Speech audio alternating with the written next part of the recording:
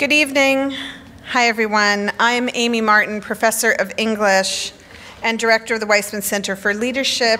Tonight, I am so happy to welcome Amy Siskind to Mount Holyoke. Um, her lecture poses an urgent question to us Is our democracy at risk? And if you e read Amy's very important book, The List, the answer is absolutely yes.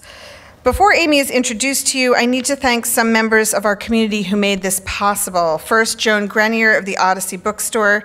We're lucky to have a fantastic independent bookstore affiliated with Mount Holyoke College. Thank you to our co-sponsor for this event, the Politics Department.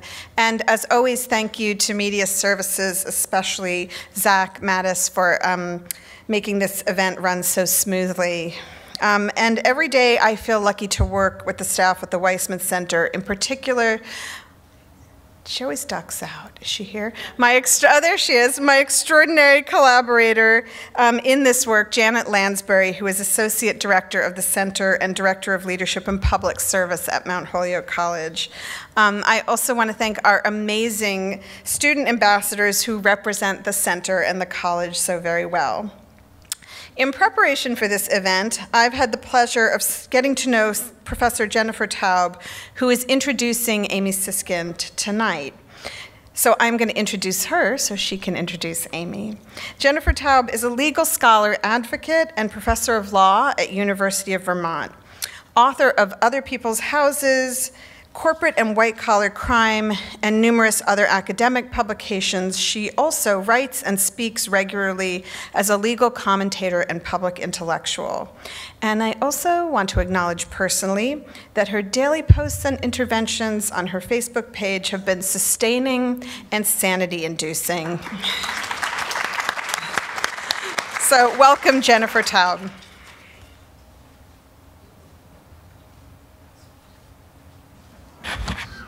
Thank you so much, Amy, and thank you to everyone who's here and everyone from Mount Holyoke College who organized this event. It's an honor to be talking about these issues in a place devoted to women's education. Um, I had the benefit when I was in middle school of going to an all girls middle school, and uh, now looking back and looking at the wonderful alumni networks, both from Mount Holyoke and Smith in my own neighborhood of Northampton, I have to say one of my biggest regrets is not attending a women's college. So this is a you know quite an honor to be to be speaking at one. Um, so in some ways, I'm really proud to be here, but uh, I think more than that, I'm kind of sad that I'm standing here. And I can trace the reason why I'm standing here and probably why Amy herself has written this book and why we're all here to something, you know, two years ago. I remember um, back in October of 2016, the run up to the, to the election. And you know how when you live in a household of, with parents obsessed with politics, it kind of seeps out to the kids. And my youngest daughter, Arella, was very worried, and she would often say, almost every other day, to me, Mama, what if Trump wins? And I worried the same thing, but I thought it was my job, kind of like my job on Facebook, to keep everybody happy and not too worried about everything. So I said, Oh, it's not a problem. Don't worry. He won't. But she kept asking, and she would ask Michael, my spouse, her papa, Papa, what happens if Trump wins? So finally I sat Michael down and I said, Holy shit, what if Trump wins? I mean, what are we going to do? Um, and he said, Well, our institutions are strong enough. It, it, will, it will work. And right around that time, the movie, one of the Star Wars movies came out, and there was this thing, The Resistance. So I told Arella, we'll just join the resistance. And I didn't even know what the resistance was. And meet, we're about to meet the resistance right here. Um, it's amazing. Women like Amy Siskind and so many others, the millions who came to the Women's March, and the so many millions more who are fretting and writing postcards and calling Congress. And, you know, I think everyone out there does not get enough attention for how much we are keeping um, things at bay to some degree. Um, one thing, you know, folks just mentioned, or Amy just mentioned, that I write this, you know, daily post on Facebook. And the reason why I do this, and I think, and then I'm going to jump over to Amy's weekly list. The reason why I do this is because I know myself, and I'm quite obsessive. And I knew that the more the the more after I cried a lot the morning after I found out he'd won, I knew that I was going to be we're in deep trouble, having knowing enough about this guy and his past behavior as a white collar criminal and such, that we were going to be in a lot of trouble in this country, and then I was going to be writing about it every day. And I thought if I wrote about it every day, um, people would be like, and I would think I'm just doing the same thing over and over. It's like this kind of circling back. But I thought if I numbered it, if this was day one and that was day two, two things would happen. It would seem like it was a new day and it would also seem like we were making progress the way one would if they were in a prison cell, marking off the days. And I counted how many days um, there were, and you know the most days that there would possibly be. I hoped, which would be until January uh, 20th of 2020, and I figured I, I could do this. Um, the other thing that kept me motivated, for some friends who are here who know this, I come from a family of Republicans from the Midwest, and I remember I used to be friends with my parents on Facebook, and I love them, but they are blocked now because shortly after the election, my mother kept arguing with me. Um, this, I say this with a, a um, I'm not upset now. At the time, this was really very difficult. Um, but she would say, You're wasting your time. Now they say, oh, we saw you on CNN and your hair was in your eyes, or they gave you a lot of airtime, or we're so proud of you. They don't talk about the content. So my joke now is that I had to join the resistance because I couldn't talk to my parents on Facebook, but they have to watch me on CNN. Okay. So, unlike me, who's a little bit flip about this and loose about this, Amy Siskind has been incredibly detailed and disciplined. And she faced the same challenge. I think she wanted to, if you see in the cover of her book, she was following what experts in authoritarianism advise, which is she understood the things around us were going to change.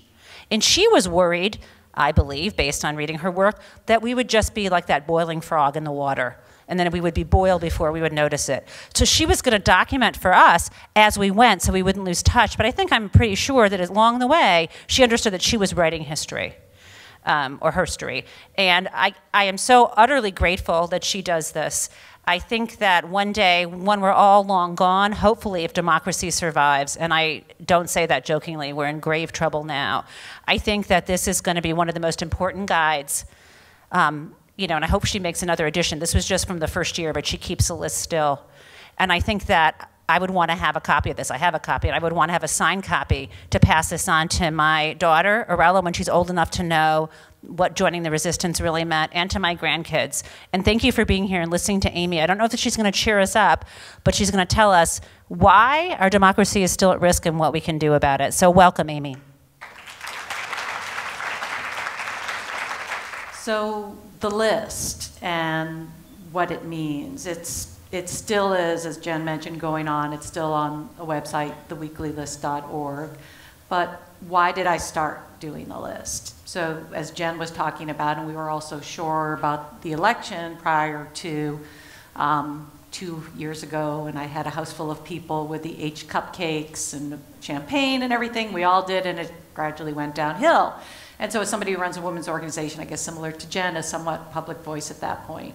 Um, and our young women leaders especially, many of whom were texting me saying, this is the worst day of my life since 9-11, what do we do?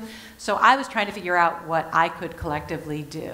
And um, Jewish American by background, and I was brought up you know, as a student of the Holocaust and the rise of Hitler. And from the time Trump ran, he has always struck me as being off um, from the time he launched his campaign, where he talked about the Mexican rapists, uh, to the fact that he really didn't have a typical Republican or Democrat construct to what he was talking about or policies. Everything was kind of fluid.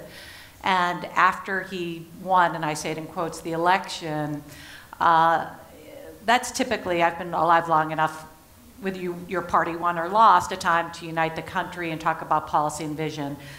We didn't have any of that. After he won, um, there was a spike in hate crimes. The Southern Poverty Law Center in the first week recorded 400, and I could have told you where they all were because they were all covered in the news. They were happening on college campuses, in schools around the country. And then as we got to the first week and a half, there were 700, and I, the media couldn't keep up anymore. Uh, the media would ask Trump to condemn these attacks, and he asked for understanding. So, as a sort of student of Trump, what I've seen of him from the time he made his Mexican rapist comment and his time asking for understanding shortly after the election, this man is the same person he was from the time he hit the campaign trail and probably for his entire life. He's not changed one bit, he's not adapted himself um, to the office, nor will he ever. He's adapting the office to him and his needs. So, in addition to being a student of the Holocaust, I started to read voraciously about authoritarian regimes. And I just wanted to bring one of the articles I read at the time. Some of you might have read it. It was in the New York Review of Books, an article by Masha Gessen that came out just as this was happening.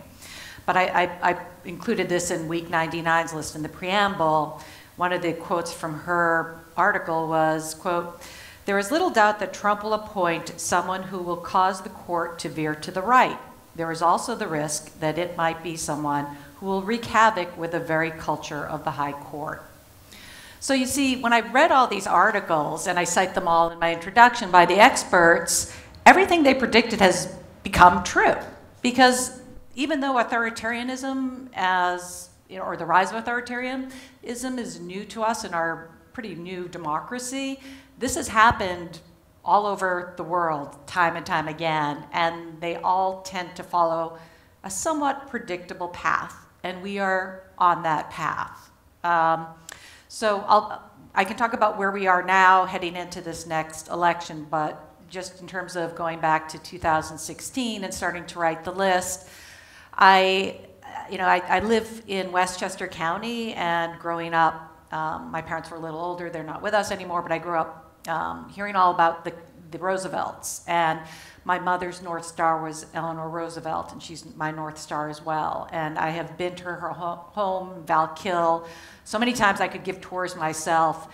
And, you know, at, at that point after the election, you know, in addition to reading by experts, I felt like I needed to have some guidance from someone who could see beyond, uh, you know, she had done during the Depression, beyond like what was in front of us. And so I went back to Valkill, and for those who follow me on social media, I brought Shep and Arlene with me. And I, I did the tour, which I've done so many times I could give the tour, but different things stood out to me at that time. And one was our government is we the people. Um, and how important it was to empower ourselves. And Eleanor had kept, in some ways, a list. She wrote this column, My Day, every day. Uh, that is a historical document in its own way. And so that night, I went home and I wrote down a first list. And to give you some perspective of where we were that Saturday, that I, which is the first full week after the election, not the direct Saturday, but the first full week. Um, that morning, Trump had been tweeting attacks at the cast of SNL, the New York Times, and the cast of Hamilton. So that's a trip down memory lane. Um, seems a lot different, but exactly the same. We're still doing those same exact things. And so that night I went home and there was a really odd tweet, I thought, from a New York Times reporter criticizing his own paper's coverage of Trump. Why were they talking about him, um, you know, attacking vice, uh, the cast of Hamilton as opposed to the Trump Foundation being charged for 25 million. So he was covering, he was criticizing his own paper's coverage, and I snapshotted. I said, I'm going to include this in week one. And the next morning, when I went to go put it all in Medium, I noticed he had deleted his tweet, and I thought that's strange but it lives on in week one on the weeklylist.org. And so the first week was nine items um, that were not normal, and the second week was 18 items. Um, so when people ask me, do you think it was a good idea to do the list, I point to those weeks and say that's when I thought it was a good idea to do the list. Uh, right now we're up to between typically 150 to 175 a week. Uh, but so those were the first two weeks. At week five, we were into the 20s, and people started to say, Oh, I, I missed five of those 25. Can you start to add links? And so around week five, the list starts to get a little more sophisticated. Um, these are all at this point on Medium, and I was just, for those of you who followed me back then, cutting and pasting them and putting them on Facebook and on Twitter. And um, so starting week five again, there's links, the lists start to come a little more sophisticated and consistent. And then week nine, which was the week before the inauguration um, and trip down memory lane, that was when Meryl Streep gave her Golden Globe acceptance speech, and she didn't mention him by name, but she talked about the way Trump had attacked a person with disabilities and what it said with our, of our country that we would elect such a person.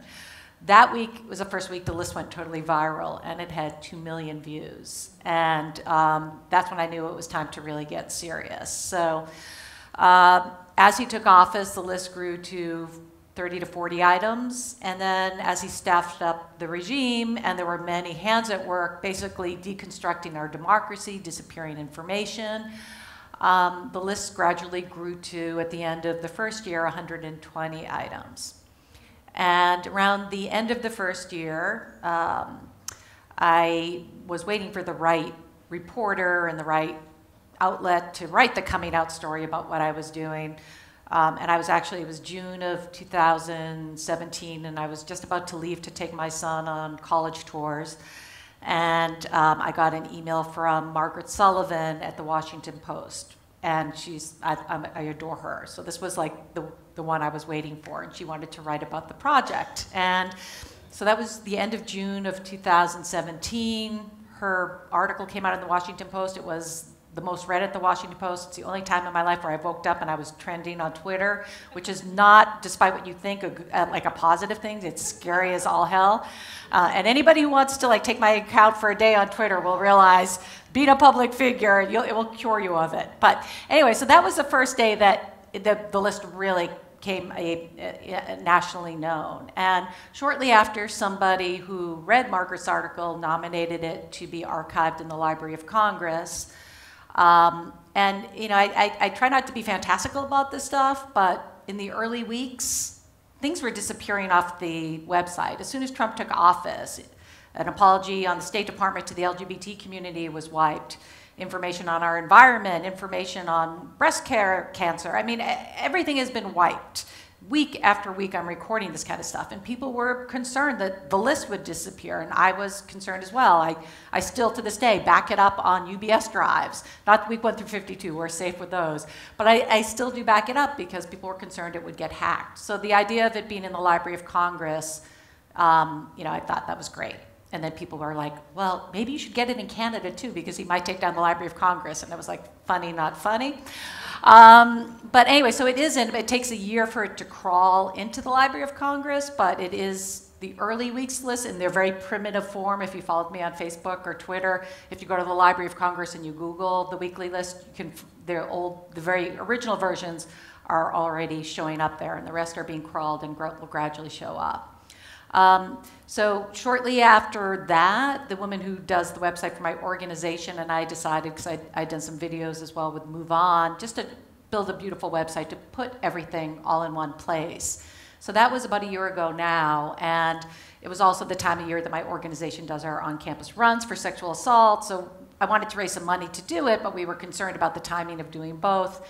But I said to Anelia, you know, I think a lot of people want to be part of this. And the whole idea, all along, I've wanted it to be very grassroots and something that everyone could feel part of. So, um, and people have been asking about ways to donate, ways to be part. We put up a campaign to raise 15,000 with a maximum donation of $25. And in the first 24 hours, we raised $20,000 and we're like trying to stop the thing. Like, we can't, you know, we don't need any more money. But it allowed us to then get a, a um, license with, for 7000 a year with Getty Images because at this point now the, all these lists are being archived in the Library of Congress, so they have properly licensed documents as opposed to a, a, tweet from the New York Times reporter screenshot. So they have beautiful photos that capture. And if you get a, a chance to go to the website, theweeklylist.org, and look at the photos, we spend a lot of time each week, Anelia and I, thinking about the news that week, but what story, what picture tells the story of that week. And so some of the early pictures of um, Trump addressing the Boy Scouts or not shaking Merkel's hand or yeah, um, you know, there, I can only pick six for my book, and I really labored over which it would be. But uh, you know, there's a few weeks where I just had tears coming down my eyes as I, as I was recording the list. And one of the weeks was Charlottesville, and I picked the picture from Charlottesville. And one was the week um, that Myeshia Johnson was standing over her husband's casket as it came back from Niger, and Trump was attacking her and Frederica Wilson. Uh, you know, it was just like, oh my goodness, what is happening here? And so the picture of her and her daughter in their flowered dresses looking over her husband's casket as it's coming off, that, that was one as well. Um, and, but the pictures do tell a story, and I, I, encourage you, if you have time and interest, to go back and look at the pictures from the early weeks, and it will just jog your memory because things happen so fast. Uh, you know, and, and that's part of what's happened is, and this was predicted by the experts in authoritarianism, that information would disappear, and so you know, kiddingly, not kiddingly, when I first did this into a book, um, one of the experts said to me, Wow, that's great that you have it in a book because unless we burn books, at least it's there. So um, information does disappear. It is now in a book. I had real reluctance about putting it in a book. One, one, I didn't really feel like I had the time to do it. And anybody who tells you, as my editor did, oh, it won't be much of a time commitment is lying to you. Um, but I, it was really for me, it, it, was the convergence of two things. One it was my fear of the information disappearing, and the second was the repeal of net neutrality about a year ago was happening. Uh, and so I was really concerned that people wouldn't even be able to see the lists on the internet, which is again something that had been predicted. So reluctantly, somewhat, and I guess in retrospect, I'm glad I did it. But I, we, we bound this book, and it came to market super quick last last um, March, and so this is the first 52 weeks. We're now on week 102, um, and the the second year would be 1,200 pages at least. So what I'm going to do is hold off from here on in until he's gone, and then do volumes because no one wants to carry around a 500 page book, let alone a 1200 page book. This book is 400 pages. And, and, and the people, the uh, publishers and agents had been coming at me, coming at me. It was finally like the third time that the editor at Bloomsbury like was after me when somebody had already come over to me at the gym and said to me, are you Amy Siskind? And I said, yes. She's like, you need to call back my sister-in-law, uh, who actually runs Bloomsbury in New York. So they, they, I had all these editors, and, and I just kept, was telling people, I'm not interested, I'm not interested, but it was just sort of the, the convergence of those factors and, and Bloomsbury saying to me, this is already a 400-page book. So it's a 400-page book with 100 pages of, of triple column footnotes. And these are, what the book captures are things that are not normal. So this isn't just a story. These are things that are atypical to our democracy. So, for example, when the Republicans were trying to repeal Obamacare, that's normal. That's something Republicans versus Democrats do.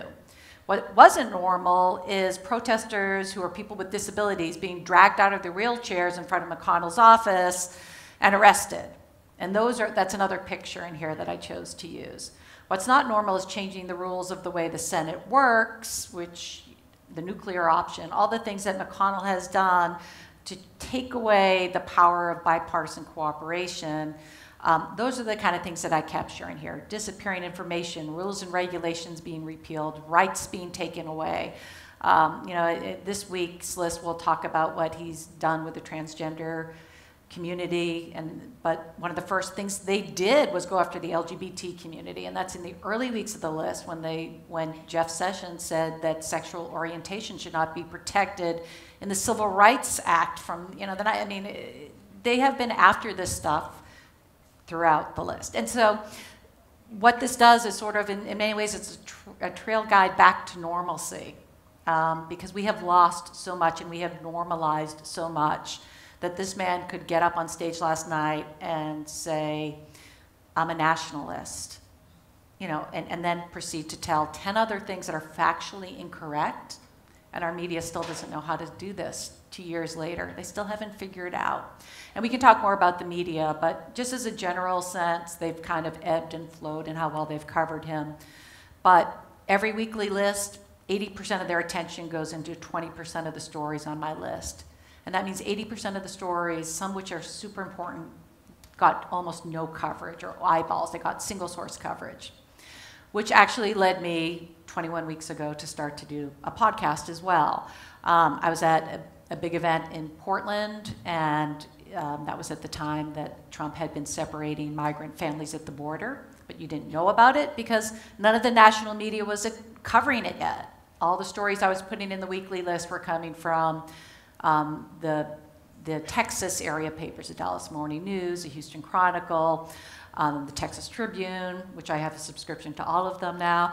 Um, And our national media that day, when I was in Portland, were on their way to Singapore to give Trump Super Bowl type coverage for what any of us could tell you was going to be this big thing that tried to normalize him as a leader, but came away with nothing other than elevating the status of a third rate dictator to Trump in exchange for nothing.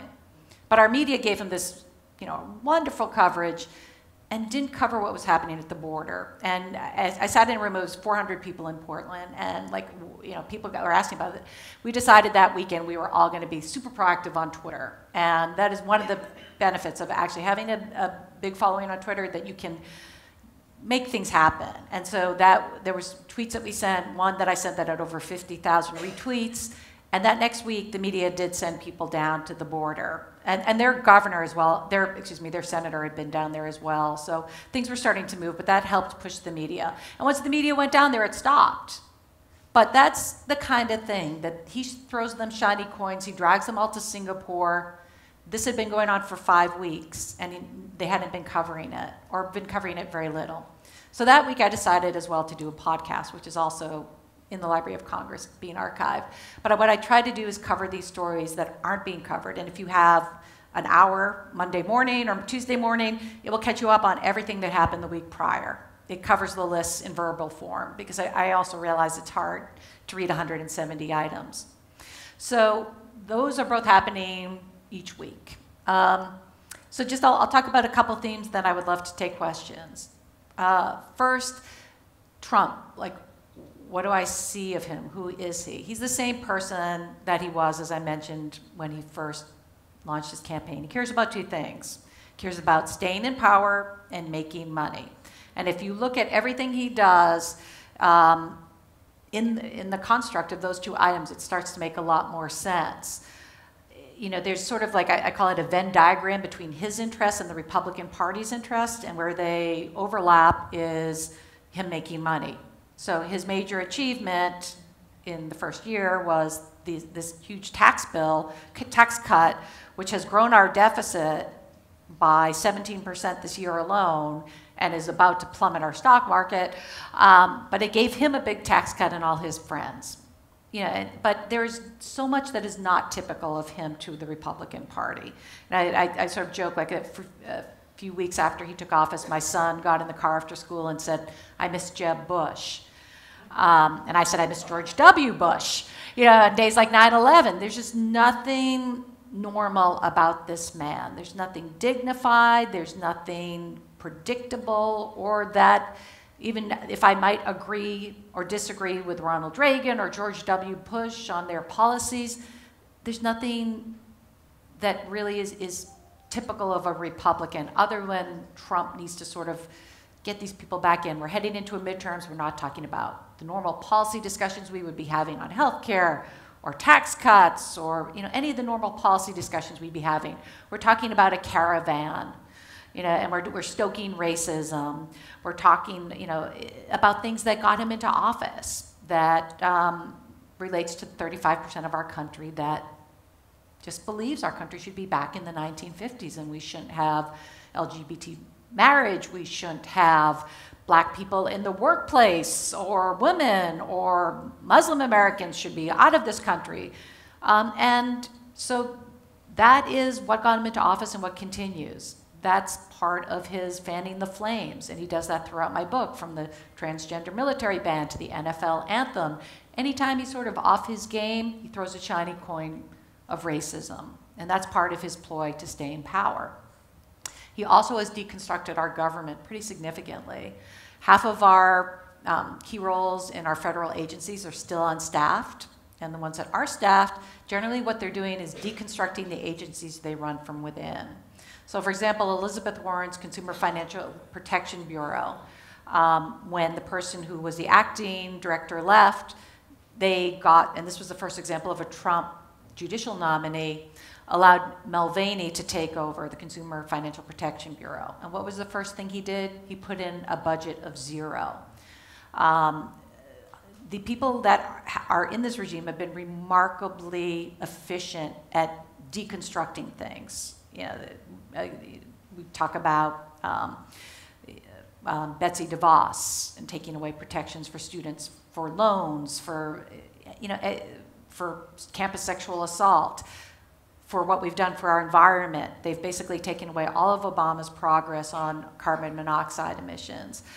Uh, but week by week, all of this stuff is captured. So that is sort of deconstructing our government from within. And so Trump has basically remodeled our government to be like the Trump organization, which is himself in power, surrounded by 20 sycophants. And anyone who disagrees is gone. I mean, McGahn is gone, Nikki Haley is gone.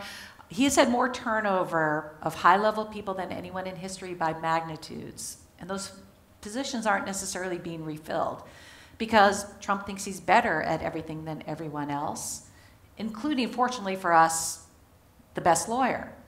So um, the good news is, and we can talk about this, I don't believe he's going to make it to 2020, but that's you know subject to what's going to happen two weeks from today, you know, uh, potentially. Um, so those things have continued, and Trump is, we're sort of on the precipice, and I'll let you prompt me in your questions about this, of, of really what's coming up in this election being so, so consequential for so many reasons. Um, what we learned in high school about history class about checks and balances, as Jen mentioned in the intro, I think what the takeaway from this is those are norms, not laws. And um, I think the outcome when we get to the other side will be a lot more things like what's happening in Rhode Island, where their state assembly passed a law that in order to be on their ballot for president, you have to release five years of tax returns. So I think we'll start to codify things that in the past were just expectations, and Trump has done none of these expectations. But as time goes on, we've stopped asking for his tax, tax return. We stopped asking for his medical. He still hasn't had a formal medical evaluation from somebody that we can trust. Um, but these things kind of build up. You know, like remember when he first took office and how outraged we were that he was going to benefit from his properties.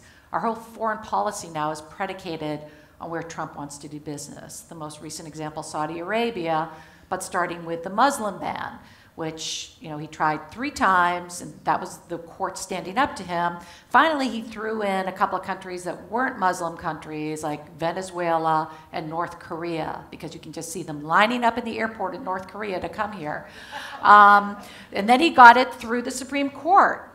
Um, and, and so that's the importance of these court system and what he's doing and how they've restacked the judicial branch, which up until now has been the only balance on him.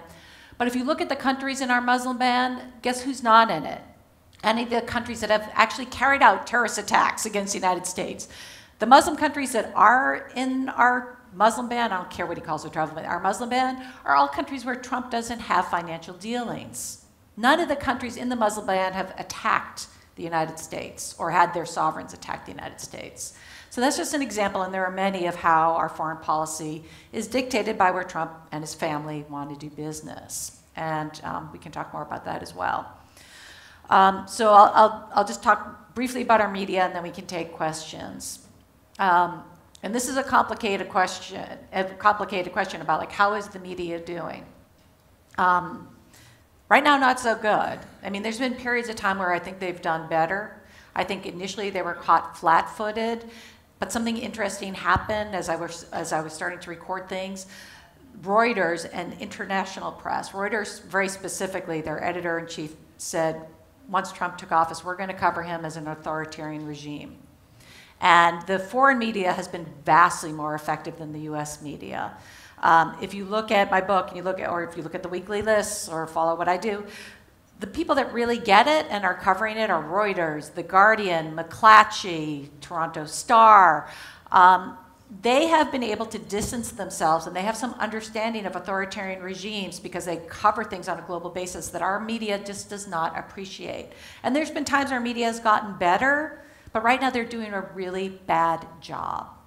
Um, I mean, they've allowed Trump to take this caravan story, perpetuate lies, and instead of staying in the, like last night, the Toronto Star said, false, false, false, false. Instead of doing that, they report these things. And then they're out in the public domain for consideration that there were Middle Easterners in the caravan and, and you know, MS-13. Yeah. By repeating these things, and this thing about the middle tax, middle, middle uh, class tax cut when Congress is out of session, our media doesn't know yet how to cover him as an authoritarian, which is unfortunate because one of his main goals is to silence them and to threaten them. And if you think about what's happened in the short period of time, last week's list had two examples. Um, you know, the sort of the how how Jamal Khashoggi, how we've not condemned that, whereas all the other democracies, I guess we're sort of in many ways the former democracies, have publicly condemned it, but Trump has business interests and he has supposed jobs with this contract, which literally last week went from 50,000 jobs to 450,000 jobs to 600,000 jobs by Saturday for a non existent contract. But our media just keeps reporting this stuff as, oh, he says 450,000 jobs. Um, you know, that and we look at examples of him talking about the the media being the enemy of the people, the shooting at the Capital Gazette, the potential shooting at the Boston Globe, if not for the FBI intervening. Um, our media is in danger physical danger, danger of being disbelieved. And that's part of what the hallmark of authoritarianism is to deconstruct the media and our institutions, which, you know, going back to what we started with Masha Gessen's quote about the Supreme Court I think we've all lost some trust in the Supreme Court based on what's happened here and the politicization of the Supreme Court, as well as what the damage Trump has done to the FBI, the Department of Justice, and so on. But when all those things don't look trustworthy, then the strong man takes power.